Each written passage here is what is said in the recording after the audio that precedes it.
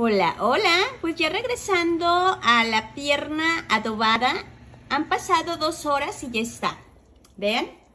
Ahorita no la puedo tocar porque está muy caliente, pero está súper blandita.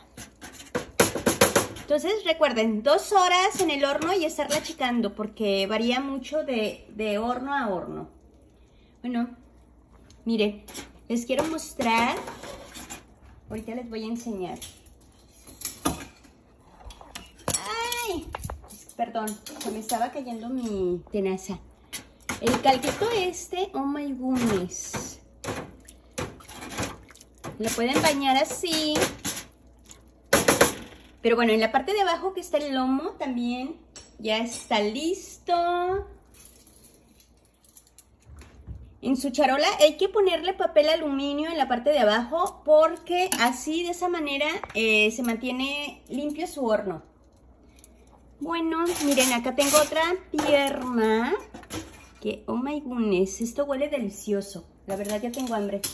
Pero bueno, saluditos. Gracias por su paciencia, ¿eh? Bye.